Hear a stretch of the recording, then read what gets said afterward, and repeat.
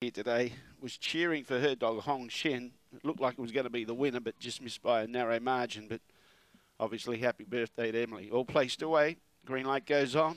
No more bets. Trackside meets stake. Set to go. Ready now. Away. Practice run not as well away today. It's back midfield, showing good speed. Saloon Princess has got the lead. Stampy Long Nose into second placings, trying to stake up around the outside. Then in turn, we've got Dan, uh, Dan Shen, Arbor Bell, and also Ridge Flyer. Uh, practice runs making ground on the inside. And in turn, behind those, Let It Bling and Ramified in the front straight. Stampy Long Nose takes the lead, and Stampy Long Nose too good. Beats Dan Shen. Third, Saloon Princess. Fourth was practice run. Didn't have any luck today. Ridge Flyer behind those. Then we had Ramified, Let It Bling and Arbor Bear at the tail end of the field, and the time around uh, 23 and 30.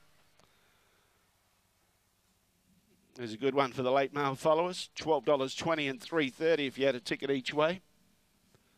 Good run here Friday. All it needed was a clear run. Box two was a little concerned, but began well, was able to get into the outside. Definitely no surprise to me that's one. $12.20 and 3.30 Stampy Longnose. It's two, three, five, and four. Two, three, five, four, the judges' numbers.